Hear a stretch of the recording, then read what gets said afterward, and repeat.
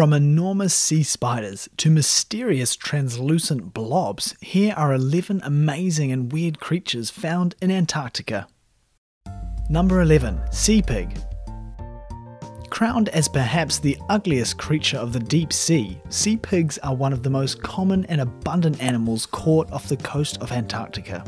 I don't know, don't you think it's the ugliest? Let me know in the comments below. They also go by the names of sea cucumber and holothuroid. Just like earthworms on land, sea pigs are important in processing the sediment, but fisheries continue to threaten their existence.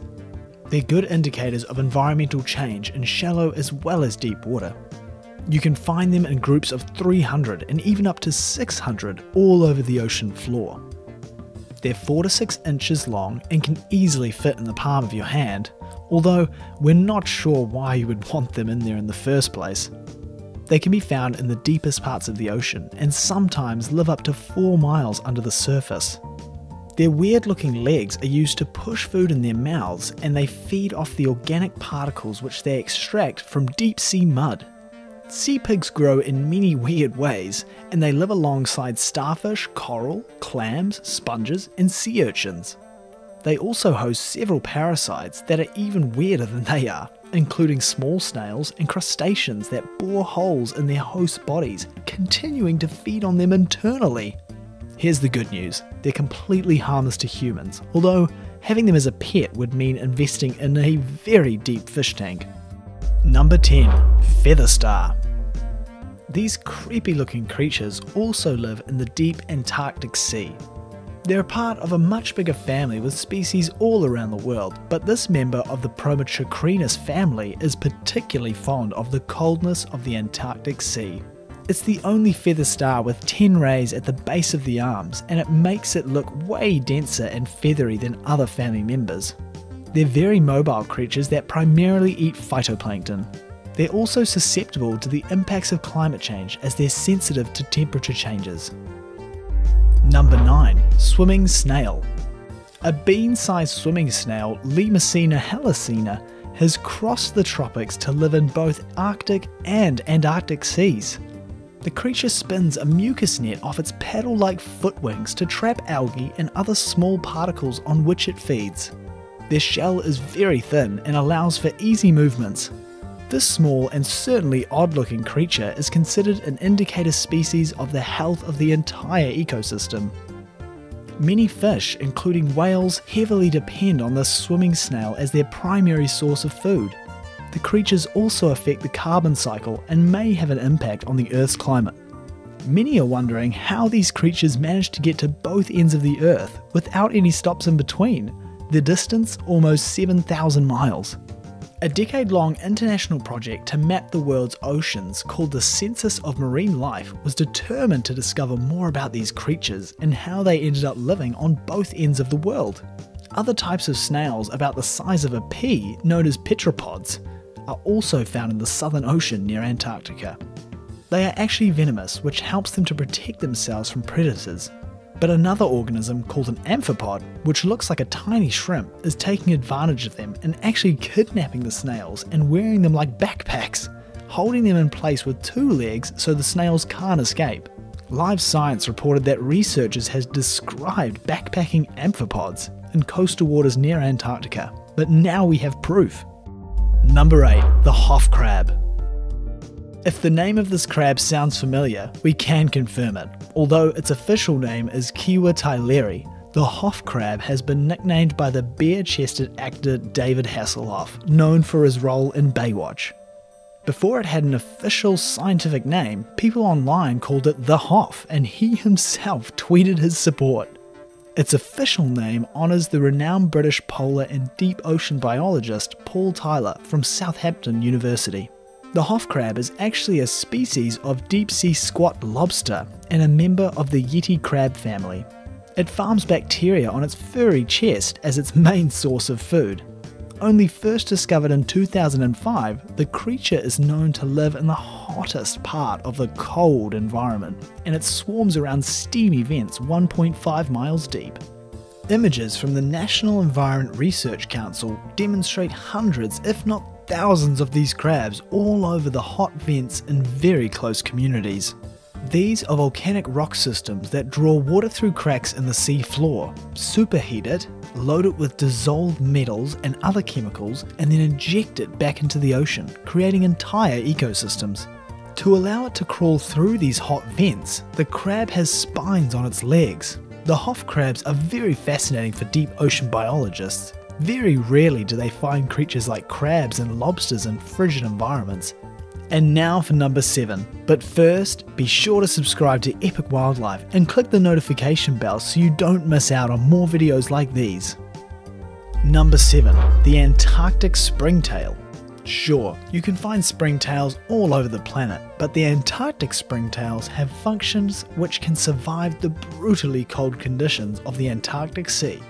To save energy, the springtails slow down their metabolism, and during winter they produce glycerol, which lowers their freezing point. And although it's only 0.04 inches long and weighs only a few micrograms, the springtails are actually visible to the naked eye. That is, if you do ever end up at the bottom of the Antarctic Sea. An Antarctic springtail looks like an insect and reminds me of an earwig. They have six legs, but more primitive, and resemble the ancient ancestors of modern day insects. Their diet mainly comprises of fungus and bacteria, but it's said that not even springtails can survive the cold if they don't happen to produce enough glycerol to lower their freezing point. They will freeze. But here's the trick. According to a deep sea biologist, these animals can defrost and live without any problems. Number 6. Sea Spiders Sea spiders can also be found in waters all across the globe. But it's the Antarctic sea spiders that are truly special and weird. They have no lungs, no gills, no organs for breathing at all. Most of the time, a sea spider is the size of your fingernail. In Antarctica, they can be the size of a dinner plate or more. Some have been found with leg spans of over 2 feet. They are far more common in Antarctica than anywhere else in the world. How did they get so big? New York Times reports that Antarctic sea spiders got so big because some 30 million years ago, the Southern Ocean got cooler. This trait, known as polar gigantism, is thought to be essential to why they and many other cold dwelling invertebrates of unusual size managed to survive. Many creatures that manage to survive these icy waters get really big. Number 5. The Antarctic Icefish. The Antarctic icefish have one of the most fascinating and unique characteristics. Due to their lack of hemoglobin, their blood is nearly translucent and despite the lack of red blood cells, these fish can still survive and reproduce. There are 16 icefish species living in the Antarctic Sea, and it's the cold, oxygen rich environment that helps them survive and maintain the expression of oxygen binding proteins. These fish are a natural model for studying anemia, as their BTW gene relates to the human TRIM gene family. Icefish were also used as a model for investigating the reduction in bone mineral density that affects 46 million Americans. It's precisely these studies that have shown the expressions of key genes involved in the delay of bone development, which results in a cartilage rich skeleton. Number 4 Glass Sponges.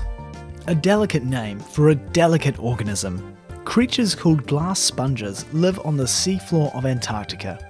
Recently, marine biologists discovered new facts about these creatures.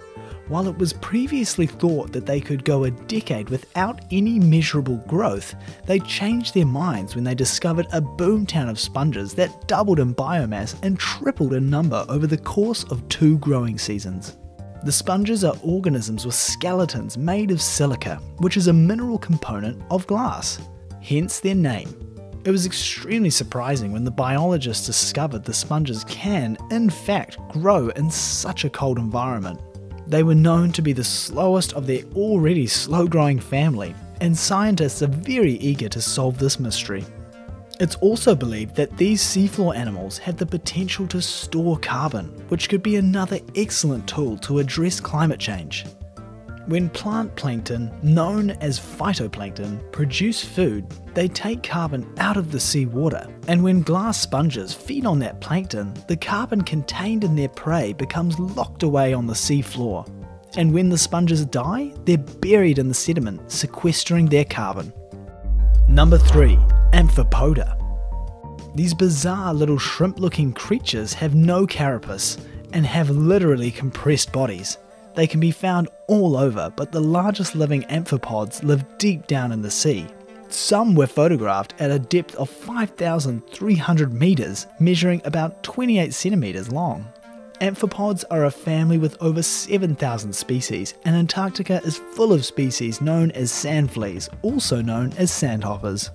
Like I mentioned before, these are the same kidnappers that will grab the toxic snails and wear them like a backpack. Number 2. Now, this is one bizarre creature with a bizarre name and even weirder look. They have a yellow stomach that can reach out to feed all parts of their broad and oval body. They have a pointed tail with no obvious caudal fin and can measure up to 1.7 inches in length. This transparent creature feeds on zooplankton and can swim in depths of almost 5,000 feet and a pretty widespread species. Apart from Antarctica, you can also find them in the Atlantic, Pacific, and Indian Oceans, and in waters south of Australia. Number 1 Comb Jelly. The comb jelly is known to float around areas which have high levels of carbon dioxide. They have no intestines, no lungs, and no stomach. Their bodies are designed to pass oxygen and nutrients directly through the gastrodermis. What makes them truly unique is their rainbow effect when the light emanates from their rows of cilia that run up and down their bodies. They don't seem to have a well defined brain nerve, instead, it's their nerve net that helps them adjust to the water change around them. It's almost hard to believe that such a fragile looking creature can actually survive the cold temperatures of the Antarctic Ocean. But these 500 million years old creatures are actually accustomed to almost all types of environment smart things. The Antarctic Sea is full of surprises, and there are hundreds more species surviving in the cold climate, and there are likely many more that will be discovered. Could these creatures help us learn more about climate change? Will we find even weirder animal species living at the bottom of the ocean? We will just have to wait and see. Thanks for watching.